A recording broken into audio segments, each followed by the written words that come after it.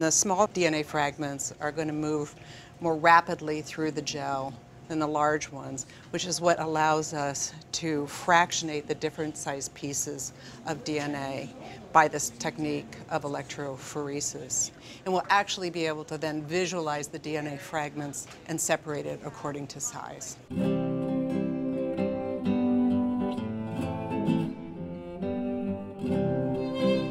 Growth of the university over the last several decades has been amazing. And it really comes off the shoulders and the beliefs of the founders of the university and the leaders of the university decades ago and their belief in what Vincentian values can deliver to students.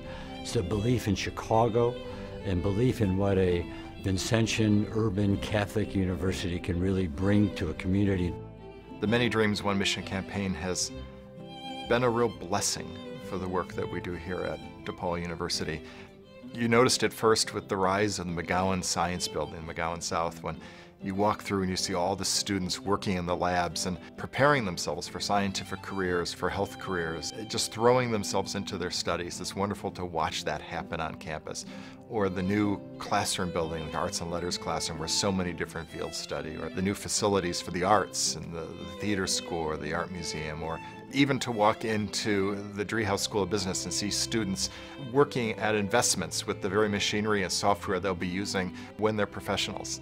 Our students are excited to be throwing themselves into preparation, and you can watch them growing every single day, and all that happened because of this campaign. I believe that the long-term health of this country from an economic and a social standpoint is quality education and quality education that is available to all sectors of, of our population.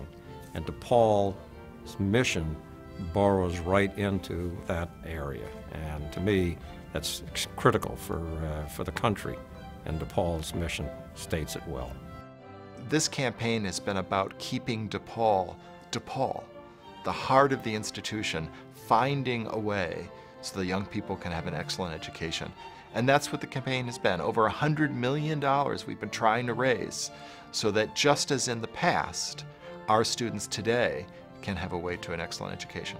I would ask people to give to DePaul University because DePaul University has a heart.